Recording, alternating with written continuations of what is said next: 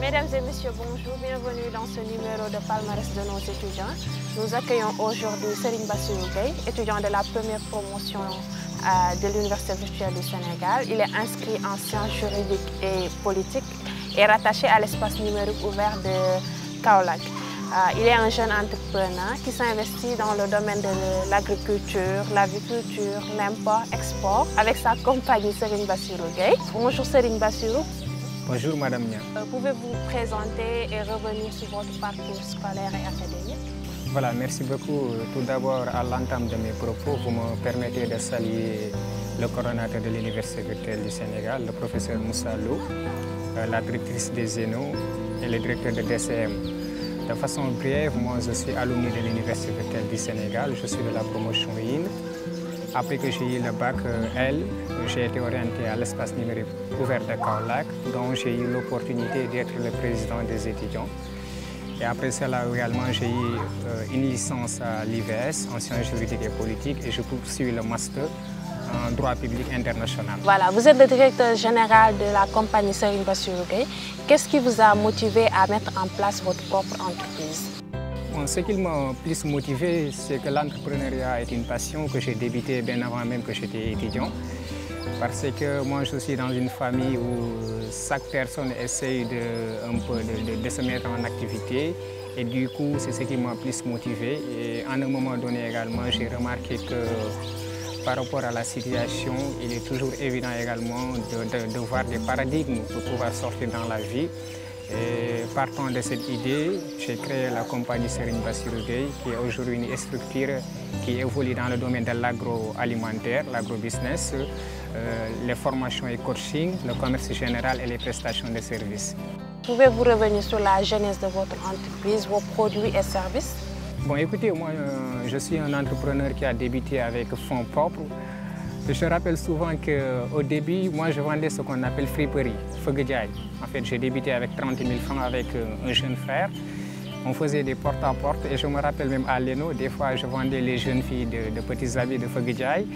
À la, suite de ça, petit à petit, j'ai eu l'amour également de me lancer dans l'agro-business parce que j'ai un parcours avec le service civique national dont j'étais volontaire pendant deux ans. Et là, j'ai suivi une formation purement agricole et je suis sorti avec une certification en grandiculture, horticulture et chaîne de valeur. Et au bout de cette formation, j'ai eu tout, ce qui est nécessaire pour me lancer dans ce domaine-là. Et après cela, j'ai lancé cette, structure et aujourd'hui qui commence à s'activer un tout petit peu et qui essaie également de, s'ouvrir euh, à Kaolack et, dans les autres régions. Mais je rappelle juste que ce n'était pas évident parce que j'ai connu beaucoup d'échecs, hein, comme tous les jeunes. Et aujourd'hui, Alhamdulillah, on essaye de mettre les pieds sur terre. Bien vrai que nous sommes toujours des jeunes entrepreneurs, mais on essaie de faire le nécessaire. Est-ce que votre formation à l'UVS vous a aidé dans l'élaboration, la mise en place de votre entreprise, de votre projet? Absolument, parce que l'IVS forme des leaders, parce qu'il y a ce qu'on appelle l'autonomie. Il y a le temps que tu as, mais au-delà de ça, une fois que vous êtes à l'université, on vous initie dans le domaine du développement personnel, du leadership. Et au-delà de ça également, euh, cette communion qui existe entre les étudiants et le fait qu'également nous sommes dispersés un peu partout, c'est un atout. Parce qu'aujourd'hui, la, la compagnie a bien compris cela, raison pour laquelle euh, nous développons des programmes avec différents zénos. Et je pense que la formation a, a joué, je pourrais dire, à plus de 110% par rapport à ce que je suis en train de faire. Maintenant, quelle est la taille de votre entreprise? Bon, mais moi j'ai une petite et moyenne entreprise, ça il faut le noter. Sauf que souvent le nom, la compagnie Serine Bassirou, ce qui explique cela, c'est que nous avons des filiales. Parce qu'au-delà de l'agro-business, nous, nous- sommes dans l'habillement. Parce que moi j'aime tout ce qui est mode. Et nous avons une boutique qui s'appelle Miroir du Saloum Habillement. Euh, voilà, donc ensuite les formations, je l'ai eu parce que tout simplement j'ai un parcours dans ce domaine. Parce que j'ai expliqué tantôt que j'ai été au service civique national et par rapport également à l'expérience que j'ai acquis à l'Université virtuelle du Sénégal, parce que j'étais à la DDC comme stagiaire pendant six mois. Et j'ai appris autant de choses, je ne le cache pas, les techniques de recherche d'emploi, les techniques de rédaction de CV, et les leadership, développement personnel. Mais la somme de ces expériences-là aujourd'hui m'ont permis également de les partager avec la jeunesse sénégalaise. Maintenant, actuellement, comment vous arrivez à concilier les deux statuts, étudiant, entrepreneur?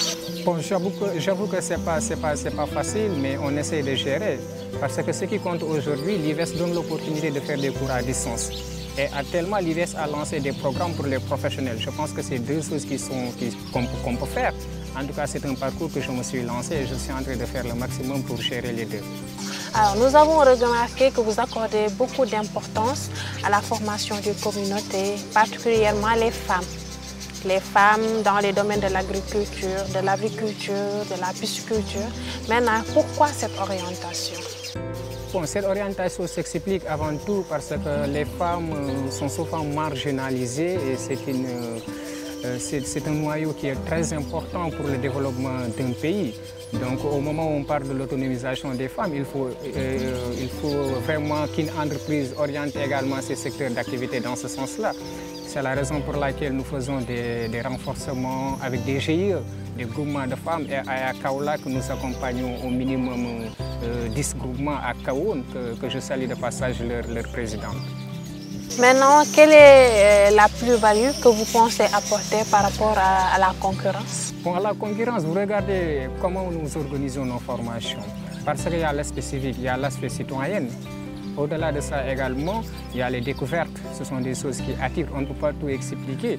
Mais si vous vivez les camps et les bootcamps et les séminaires de la compagnie Serigne de vous allez vous rendre compte que, comme on le dit en Wolof, pomme de Alors, quel est votre dernier mot? Bon, C'est de vous remercier, remercier le coordonnateur et dire aux étudiants qu'il faut y croire. C'est une université qui est en train aujourd'hui de montrer la qualité parce que la première promotion et la deuxième promotion actuellement font beaucoup de choses au Sénégal avec des percées énormes dans les concours et dans le domaine de l'entrepreneuriat. Bonne continuation. Merci. Ah, merci Serine Bassirou. Ça a été un plaisir de vous accueillir dans le palmarès de nos étudiants. Euh, nous vous encourageons et vous souhaitons beaucoup de succès pour la suite.